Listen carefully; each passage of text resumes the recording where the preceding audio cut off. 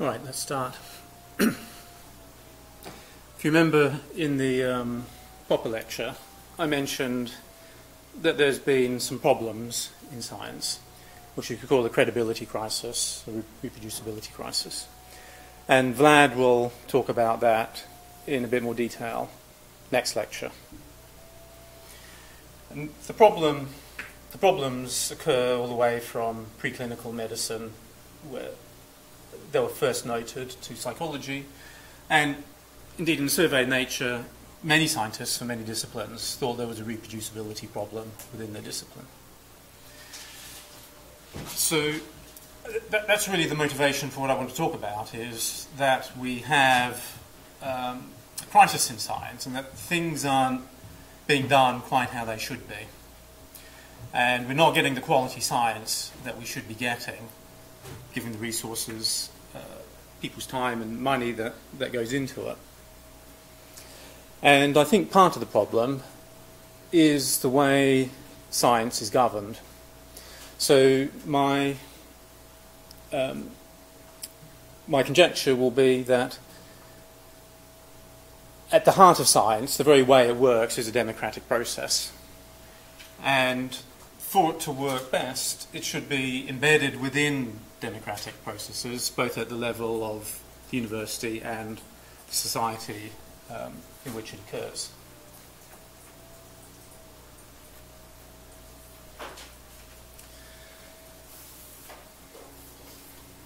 So Popper said that um, knowledge grows by critical discussion.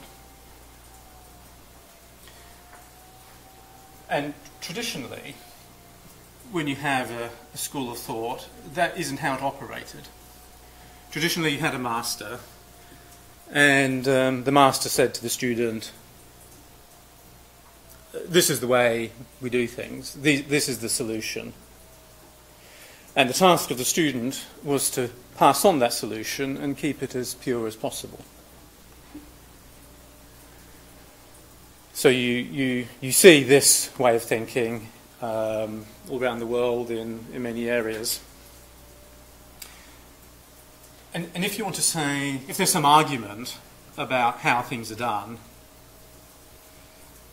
you would say, you try and argue that this is the way the master, no, it's this way that the master originally did it. This is the oldest way of doing it, and this is the best method, therefore. It's, it's pure by way of being what was first said by the great master at the beginning of that school of thought. But that isn't how knowledge grows. That's an attempt to ossify a way of thinking um, as it is. Just here's one possible solution, we're going to keep it as it is. So there's another um, tradition, Popper said, where what the master says is here's a problem, this is my proposed solution. The master says to his very student, typically has been his, um, now can you do better? And then the student tries to improve on what they were taught. That's the critical tradition. Where the teacher encourages the student to do better than what the teacher did, to find their own answers, to find their own solutions, to criticise what's on offer so you can come up with something better.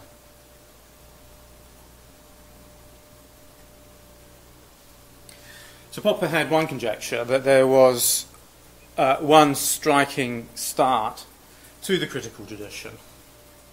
I think he, I think he, he, was he was wrong about that. He didn't start once in one one time and place, but it was a particularly striking start that uh, uh, led to dramatic consequences. And that was around 600 BC in Greece. Thales gave up on mythological explanation for natural phenomena. So if you consider earthquakes, he didn't say, well, there was an earthquake because Zeus had an argument with Hera, and he was very angry, and so that's why we have an earthquake now. He, tried to come up with um, explanations um, for which he could uh, give reasons for. So he said, um, um, you know how things float on water, they can, they can move about.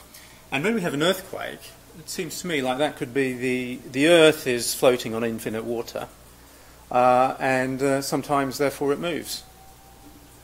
It can grate against other bits of earth, and that's an earthquake.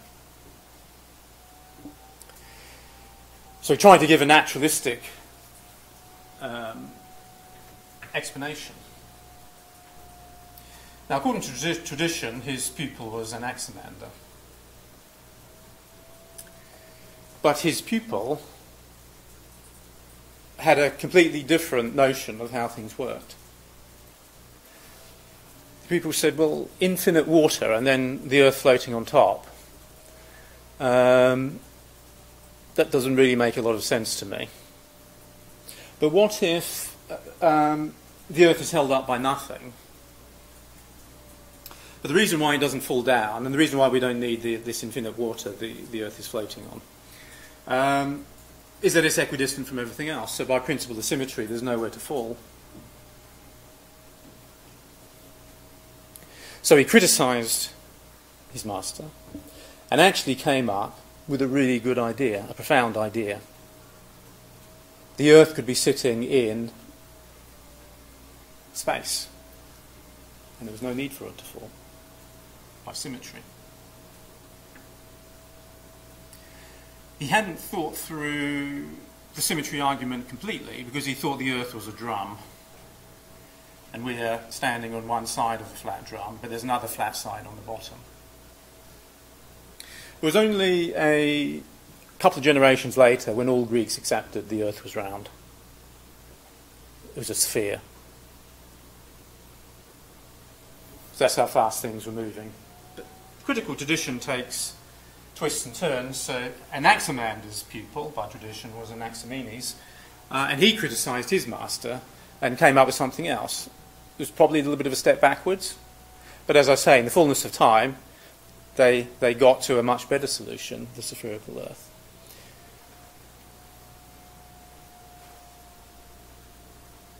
And then there was an explosion of knowledge. That was the, the explosion of Greek knowledge in around about 500 to 300 BC and carried on for actually a few, quite a few centuries after that. So, according to Popper, the foundation of both science and democracy is the open society, which is the society that encourages the critical tradition. In other words, when people disagree with you, they're not just tolerated but respected. They're valued for the for what comes out of disagreement and critical discussion. And that applies not just to the growth of knowledge in, in sciences or uh, any sort of intellectual activity, but also to how society operates. How are we going to make decisions in a society? Well, you can either have a person in charge who is there uh, by force and can only be removed by bloodshed, but that's not the critical tradition. That's not the open society. Or you could have uh, arguments or policies or people um, who are there or not there because of those arguments. Then that would be the open society. You can have um, if the open society is embedded in the very way, in, in, the very structure of how society works, that's a democracy. You can have an open society without a democracy if the person in charge encourages the critical tradition. But then um, the critical tradition and the open society is only there on the whim of the autocrat. And so the next autocrat might not like it, and that'll be the end of it. And history does show that happen as well. And what we, what we see in ancient Greece is the, the politics, the open society in politics, and the open society in science and intellectual activity, running along side by side in a very striking way. So Thales, I mentioned, uh, 600 BC, that was the very point Solon was introducing voting and beginning to introduce democracy into the Greek system. Fully fledged democracy really comes 508 BC when Cleisthenes introduced, what I, and I'll show you, um, this amazing period of Athenian democracy. Uh, Alexander the Great um, reduced it, 322 BC because he became the supreme ruler. Uh, and then when the Romans took over, that was more or less the end of it, although some of the institutions carried on in a sort of a shadow format. Meanwhile, while that's going on, we have these amazing developments in astronomy, in mathematics, and you get some of the first histories, where history isn't just a mythological account, uh, but based on witnesses and um, going out and talking to people to piece together history that's happening. You get medicine with Hippocrates, who doesn't claim that everything he does works. He, he, um, he describes many failures of his therapeutic techniques. By the time we get to Galen, um, I think he was about 150 AD, everything Galen did, according to Galen, absolutely worked fantastic all the time. So we've lost the critical tradition by that point.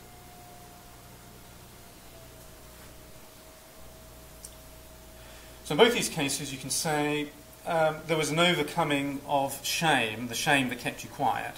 Everyone had a right to a voice. Didn't matter who you were. And I come to that in the political context here, because um, Athens set up, starting with Cleisthenes, um, this system. First thing he did when he, when he set it up was he broke up the, um, the aristocratic hierarchy. So people were assigned to 10 different tribes. You, you didn't belong to the clan defined by an aristocrat. Instead, he, he assigned people to tribes and he mixed them all up. So each tribe contained people from the urban centre, from the countryside, and the coast. And then they had their own games uh, uh, to play and festivals, so they had a sense of being part of the group. So he broke up the old power structures. Then the main executive body here, 500 people, were selected 50 each year by lot, in other words, random assignment, and they had special machines for randomly picking, randomly selecting. Uh, 50 people from each tribe um, more or less randomly selected to be in the Boule, the executive council that ran Athens. Um, to be on the executive body, you had to be over 30, and uh, there were some wealth requirements that gradually got, got reduced. But there are probably only about 20,000 eligible people. The Boule is replaced completely every year, so you can't be selective when you're doing this probably pretty much everybody, or really high proportion of people, took part in being on the executive for Athens, given you satisfy the requirement of being over 30 and having some minimal wealth, which was eventually reduced. They, they were in charge of the day-to-day running of, um, of Athens. Um, each month, one tribe was, was the main um, group of people uh, running it. And every day they picked a different person from the tribe to be the leader, to be like the president of Athens, the prime minister. Every day was a different person. So that person would be the person who would go out and do business with other states and countries and, and, and represent the whole of this, this state, this country. They would um, set an agenda and implement decisions. And the agenda uh, on eventually became weekly, uh, and certainly a main one monthly, was in the Popular Assembly where all citizens could go. So that was males um, over 20. So it's not quite what we call all citizens by today's standards, but it was not bad for those days. It excluded um, foreign visitors and a ton of slaves. So I'm not saying it was great, but um, still, in the context of its time, given that all the other thousand Greek states had uh, widespread misogyny and slaves as well, this the democratic version was uh, uh, was incredible, really, by comparison. So then everyone could vote on the motions put forth and suggest motions. Anyone could stand up and suggest a motion. Anybody could vote on. And then introduced, sort of about after about 100 years of this was going, was a, um, a special sort of committee, the nomothetai, which was selected by lot from the population. So, the, so we're not talking about elites at any, at any point here. They consider the legislation and the, and the rules that the assembly, the ecclesia, has nominally approved, but they sit down and think about it. And they take the time. Is this consistent with our previous rules? Is this really going to work? So there's a check on the process here. And we'll come back to this, to this idea of having a random selection of citizens to form an assembly to really inform themselves about a key matter and make decisions about it. Citizens' assembly is something you might have heard about. So, th- so this was democracy was ruled by the people, and this really was ruled by the people. You didn't have a leader, it changed every day. That leader was ran- more or less randomly selected from a, a wide population. So the Athenians were known, and these the Athenians were sort of the um, the first and the most prominent democracy, but in the thousand Greek states, there were a lot of democracies. Uh, there were a lot of tyrannies where there was one person in charge, like a king, uh, but it might not be a king, just an autocrat. And there are oligarchies where there was committees of people regarded as being the best, the most talented, who would run the shop. And when you look um, back, as um, the Stanford classicist Josh Ober has done, at how well those different states did, which you can do by looking at um, uh, sort of archaeology, pottery fragments, and so on. You can look at their wealth uh, and um, artistic output and so on. The democracies outperformed other types of government in that highly competitive environment, where you're keeping things roughly constant, same amount of misogyny, slavery, and so on. But what's different is democracy versus one man rule or several people rule. And democracy wins out. And the Athenians were known as being knowledgeable and engaged. Of course, you would be. You're constantly involved in the political process, you're part of it. There are no elites to rail against. You are the elites. You are the decision makers. You have as good a chance as anyone of making a decision about anything of importance.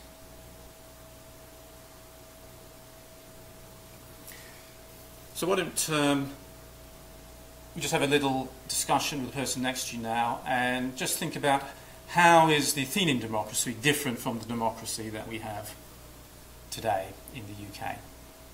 I'll give you a couple of minutes to think about that.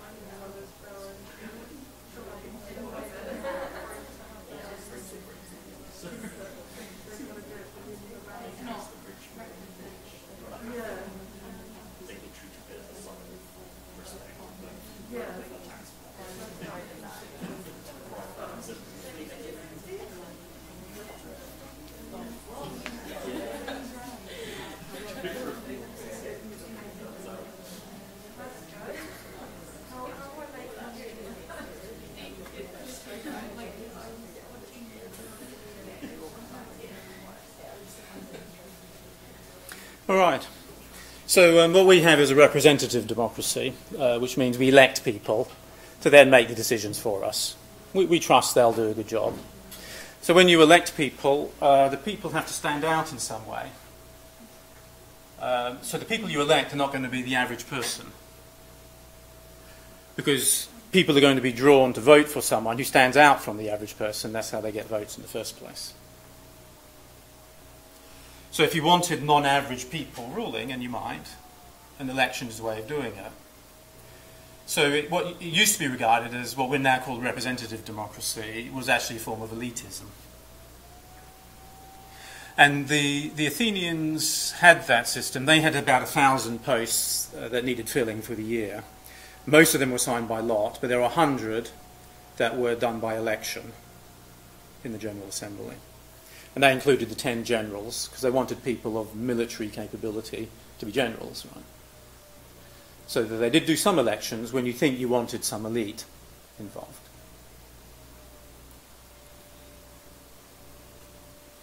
Um,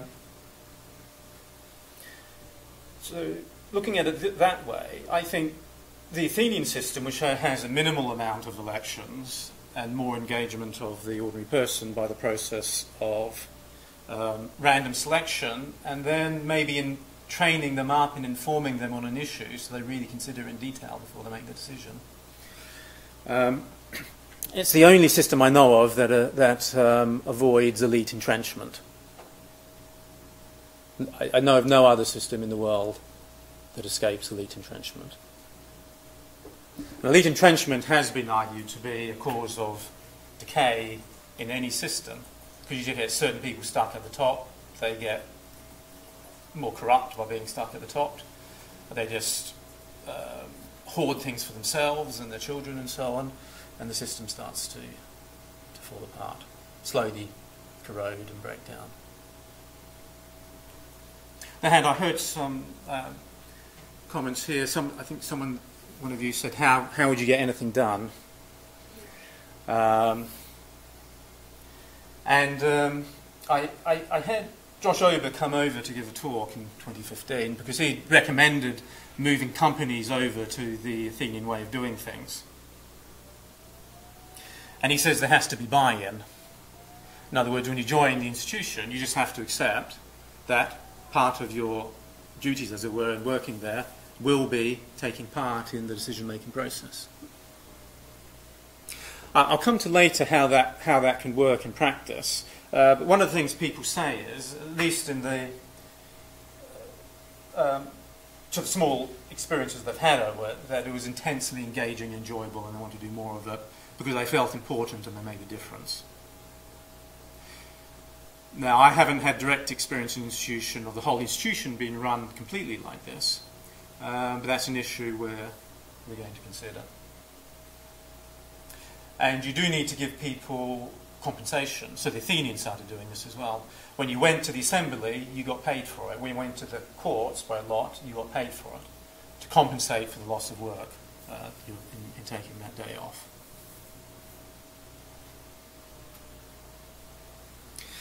So what we have is this, um, I think, an amazing experiment that lasted several hundred years.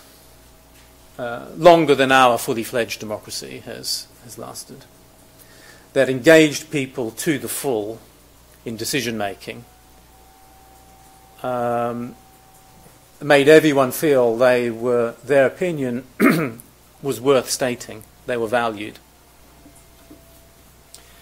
We have a political process like this that went hand in hand with a spectacular growth in knowledge. So maybe that's no coincidence. So, what I found interesting about this book, Timothy Ferris, was how, um, since the Enlightenment, um, democracy and science always went hand in hand. Whichever was the most op- open society and democratic society was where scientists flocked and science flourished. And scientists were often the people who pushed for more democracy in the more closed societies. So the argument of the book uh, is that um, indeed you can see in America, in Europe, and other places the growth of knowledge going hand in hand with an open political society.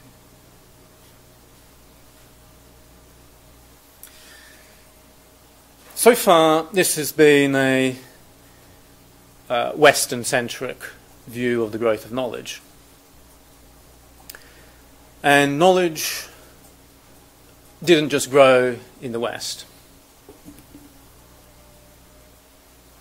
One place where there was steady growth of knowledge was China.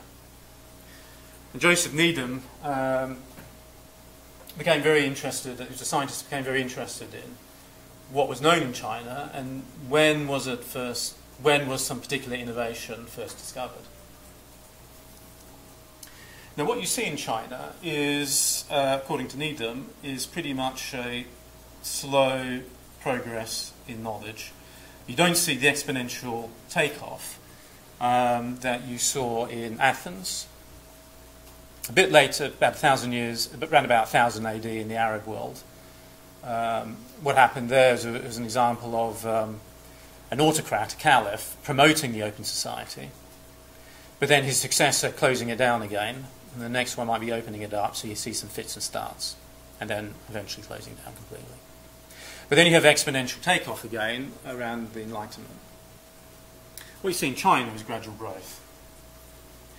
But you, you see this steady, steady growth happening way before things start to pick up in Europe after, after Athens. So what became known as the Needham question is a question Joseph Needham asked why had modern science not developed in China but only in Europe? And the question he regarded as all, all the more pressing because before the 14th century, in other words, before the Renaissance and Enlightenment, Europe was almost wholly receiving from Asia rather than giving. So some examples Needham goes through. They, China mastered iron casting 15 centuries before Europe. They invented paper in AD 105. A wheelbarrow, 1,000 years before before Europe did. Ninth century invented gunpowder. Uh, we think of the um, movable type printing press as invented by Gutenberg, um, but it was invented 400 years before Gutenberg by Bi Sheng in China. Uh, we're all grateful for inoculation, and that was a technique that started in China. Mechanical clocks, six centuries before Europe, and on and on. Needham has thick volumes going through how things were invented in China. So they were often a thousand or more years ahead of the West. So how did it happen that they could be have such a sophisticated society, but science did not take off in China? Well, China um, truly valued knowledge. Um, I think at the time, 500 BC, there was a sort of open society in that you had different schools of thought, like Confucius, Lao Tzu, uh, Taoism, and the different Chinese schools, all sort of debating and arguing with each other um, before things settled down a couple hundred years later. And then, then pretty much as when China unifies, you have a you have autocratic rule thereafter, but a re- deep respect for knowledge and a meritocratic system in the civil service where people would sit exams based on the classics, and that's how you could advance in the, in the civil service. They'd be tasked with that as well. And scholars were intensely respected. When you, when you read the sort of the love stories and romances of China, it's the scholar who's the gentleman that women fall in love with. So you can understand why, and, and the state supported knowledge growth when it was directly applied and in the interest of the state.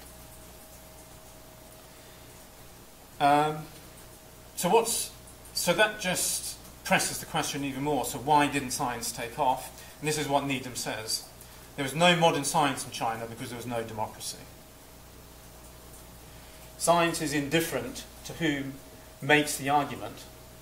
Those civilizations which have developed an exaggerated respect for teachers will have to modify it shades of the um, of the schools of thought that I started with. We have to respect the teacher, do as teacher says, and preserve the doctrine. There is a real kinship between the scientific mind and the democratic mentality. which includes, according to Needham, skepticism, anti authoritarianism, not letting others decide on aims or assessments of evidence, a give and take, and live and let live attitude.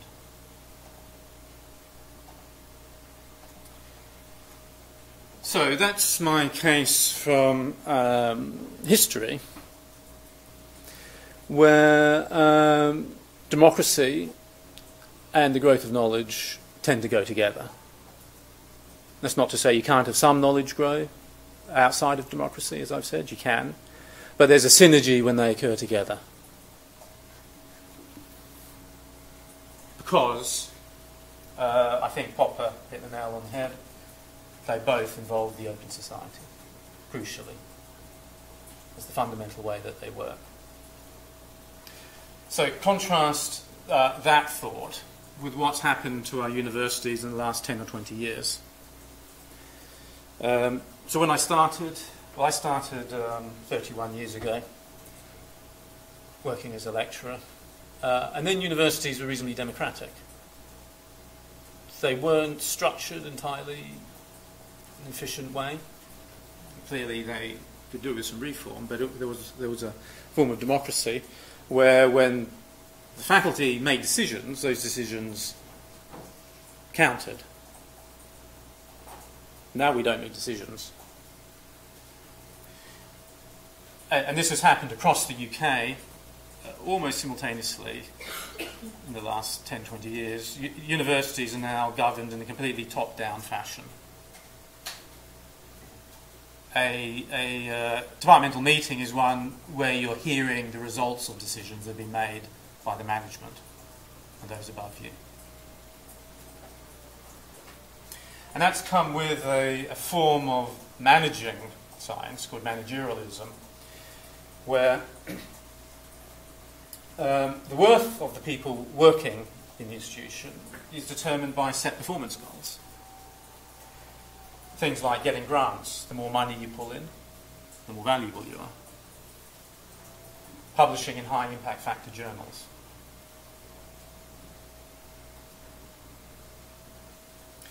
And the, the, the, duty of the researcher is to fulfill the key performance indicators of the institution, to publish in certain journals with high impact factors, to pull in certain amounts of money. That's what gets you respect, not the quality per se of your ideas. if you have brilliant ideas you published in a not so good journal, that doesn't count. You may have influenced a lot of people with that, but still the point of view of managers, you didn't satisfy the key performance indicators. So Ben Martin, who's in the Science Technology Policy Research Unit at Sussex, um, thinking about this, said why, when the management literature of the past two decades has stressed the benefits of flatter organisational structures, in other words, not so much hierarchy, decentralisation, have many universities been intent in moving precisely the opposite direction? of more hierarchical structures and top-down management. In other words, what he's trying to say is the way we're now managing our science, not just UK but worldwide, doesn't even fit with what the management schools in those universities would say is the best way of managing a knowledge institution.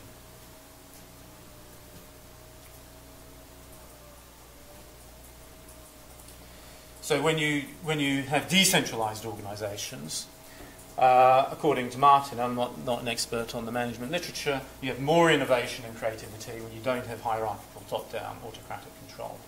And you, you have increased motivation and satisfaction because people are engaged. Their opinion counts in a proper democratic institution. When it's top down control, your opinion does not count. You just do as you're told. So he quotes uh, al., He says that the managerialism we've been having has created an environment that encourages opportunistic, opportunistic behaviour, such as cronyism, rent seeking. Rent seeking means getting what you can for yourself. The rise of organisational psychopaths, which will lead to a waste of resources, change for the sake of change. Management always likes to change things, restructure things, um, bureaucratisation, and a disheartened and exploited workforce. Uh, and in this book, which um, interviewed people from many UK institutions, at, at all level of status within those institutions, uh, came to this conclusion. The sense that the conditions for the pursuit of high quality academic work have worsened and are continuing to worsen is widespread, even in institutions that are most obviously successful. Criticisms that universities have become too top down in the governance and are insufficiently bottom up, that good academic work is stifled by over-regulation and bureaucracy, and that too much academic business is now handled by non-academic professionals are commonplace. So that's the UK situation. Um, Fall of the Faculty gives a horrifying account of the same thing happening in the US, uh, somewhat predating the UK. And the European situation is better. Um, you do have democratic governance in many European institutions, but it's moving in the same direction. It's all moving to top down control. Okay.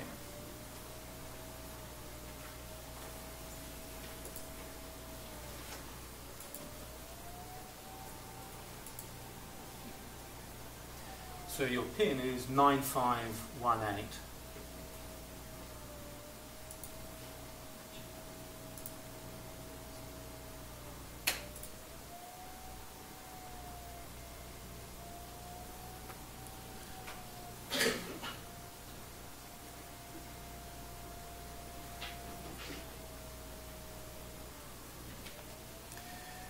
So I'm going to make some suggestions for how any institution might be run differently based on the Athenian example. Um, and think about the, the, the, main goal is to think about how that applies to science in general so we can not have the, the problems that we've been having in science with this credibility crisis. But the issues are rather general, and I was interested to see this book by Honig come out about um, foreign aid agencies and looking at when you have top, complete top-down control guiding everything, how well that works out for foreign aid organisations and the different projects. He gives an example in East Timor where they wanted uh, the uh, farmers to um, uh, improve how the, their farming practices to make them more productive. So the, the goal was to train up the government workers who dealt with the farmers so that government workers would have the knowledge to um, guide the farmers in, in, what they should be doing. And the, the, the, measured output of the, of the program was the number of trained government workers. Now, the people working on the ground realized that what was happening was you train up the government workers and give them lots of skills, they'd go off and get better paid jobs. So the farmers weren't being benefited. What, what you'd really want to do is to train the farmers this is what the people on the ground realized. But they decided to do nothing about it and tell HQ far away and distant because the, the, the measure of the success of the aid program was the number of trained government workers. And the program was really successful by this measure. It just had zero impact on the farming practices in East Timor.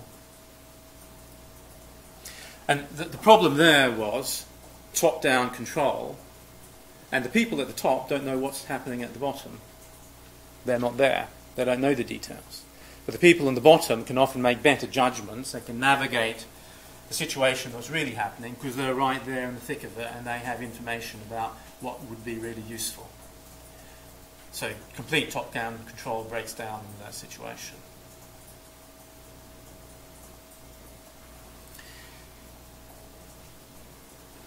So when you have hard to measure uh, outcomes, which I think you do in science, how do we know what a creative, useful solution is?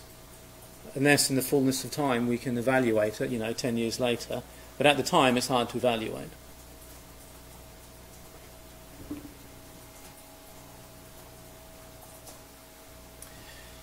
So there's, there's something called Goodhart's law that relates to what I've just told you about with the farmers, which is when a measure becomes a target, it ceases to be a good measure.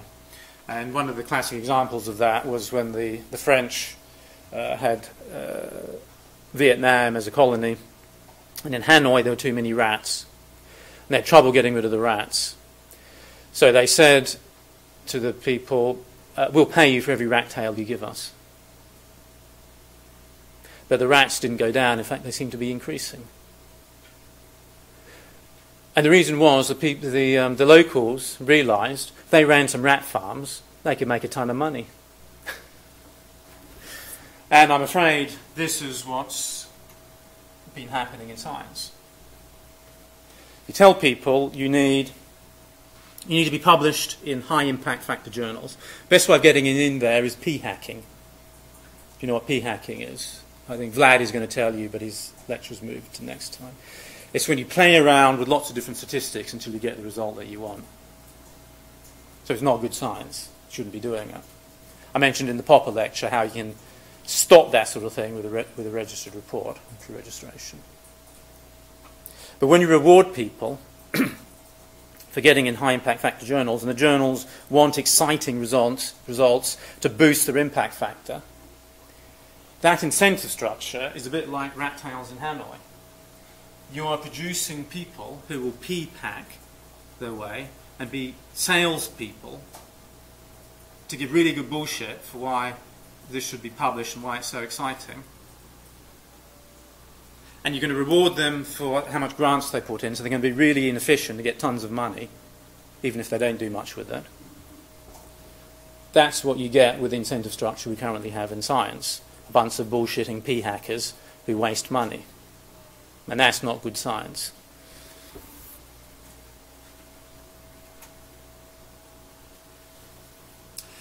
So it's an interesting simulation of this, how this sort of bad governance that we have is, is ruining science. Because what we've set up is a natural selection process, this paper shows. Well, let's say you have a lab that trains people to p hack and bullshit. They'll get tons of paper in the high impact factor journals, they'll get tons of grant money. Because they get the grant money, they're going to train up a lot of PhD students and postdocs in their ways of dealing with things. And so, in that natural selection amongst labs, it's the ones that game the system that win out.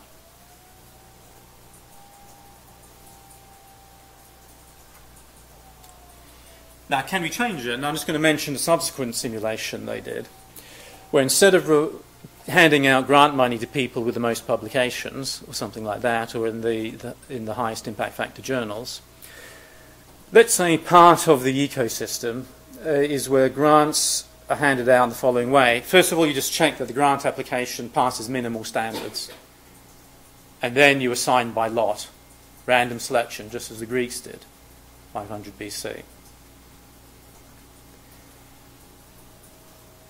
This then breaks that cycle, and according to their simulations, was the best way of breaking the, that, that natural selection process that I was just talking about. Gives everyone a fair chance, has a certain impartiality about it. As a side note, in terms of equality and diversity, it means it doesn't matter what race, gender, country you come from if the money is assigned by lot. It breaks down elitist hierarchies. It gives everyone a chance. Notice the Athenian feel to this solution. So, how could we change things? What sort of structure um, would be consistent with the culture of the critical tradition? Because in Athens, there was a certain culture that was brought about by the governance processes, because people were engaged, they were informed, that created a culture. A culture of argument and discussion, of contribution and participation and engagement. Okay, so I'm going to assume, just thinking about a university now. Each academic has information about how the university is working. The University is a complex thing. It's not like a car production factory. There's lots of little niches and nooks and crannies that work in slightly different ways with its own problems depending on the discipline and sorts of projects they go on and so on. So different people have different relevant information. But people aren't going to express that information unless they have some job or function to express it. You can know about it and you can complain to your mate about things. But it's not going to go anywhere unless it's some duty you have, some job that you have, in order to make use of that information. And also, I think that decisions will be made best, best use of the information. The people making decisions have to live by them. In other words, we don't have a separate management class who makes decisions, and they they don't have to live by them. They don't have to do them. They're not working on the on the shop floor, as it were. Another thing about the Athenian system was it selected ideas, not people, by and large.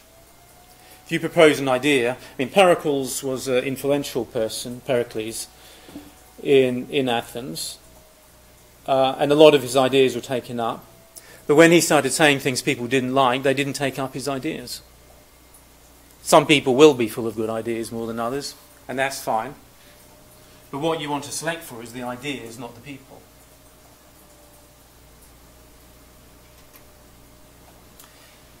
Now, remember the nomothetai, which is this little group where you randomly select some citizens and then you inform them on a topic and give them some time to think through a particular issue. And then they make the decision on it, the final decision. That's the basis of a deliberative poll, um, which is something that James Fishkin has been using for decades in many different countries you randomly select from a population, say 200, 300 people, and you always use about 200, 300. He's done deliberative polls in, say, the whole of Europe. He's randomly selected people from Europe, or Australia, or Texas, or we'll see a township in China and so on. 200 to 300 people gives you a fairly precise estimate of their votes when, we, when you come to it. Put them into groups of 15 to discuss an issue, and they're given information packs. The issue could have been something like Brexit, for example. Could be you know any issue of importance like that, or in a, in a in a university like Sussex, size and shape. The issue that's being talked about. One pack argues one way for a certain issue. Some experts prepared that who are on that side. The other pack argues the other way. People discover uh, discuss it and there's a moderator there who tries to make sure everyone has a voice, no one's dominating conversation, and everyone treats each other respectfully.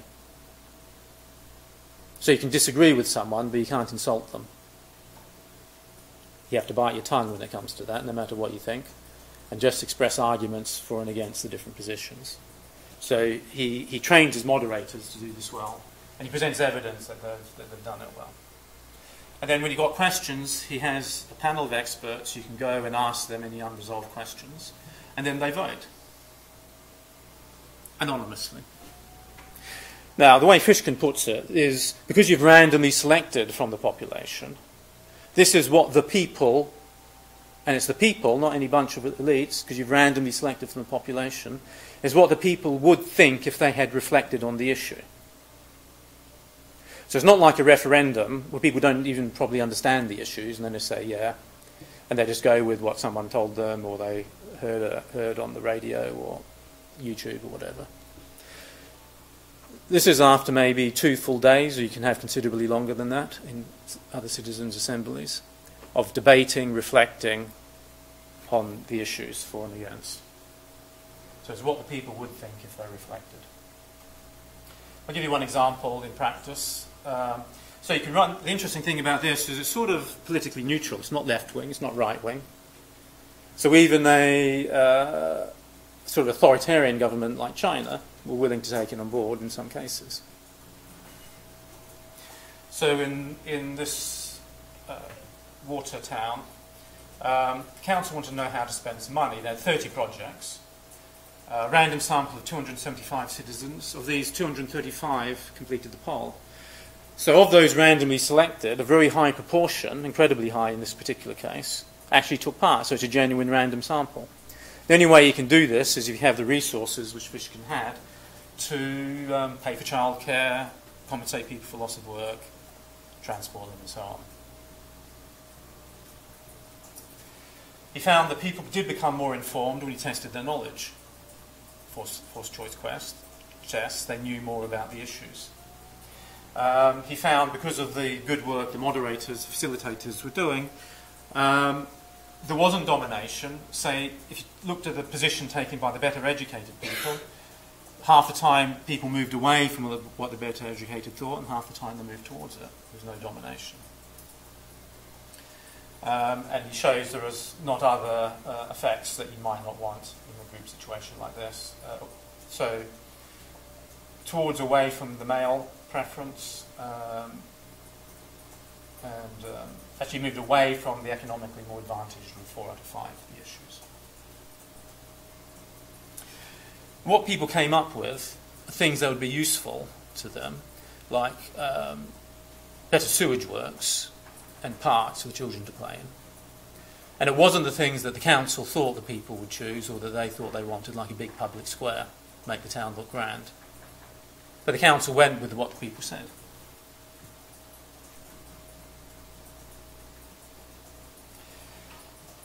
Another way of doing this uh, that's happened in Oregon is now part of the official system there, is you have a, a, a group like that that debates the issues before a referendum and produces an information pack.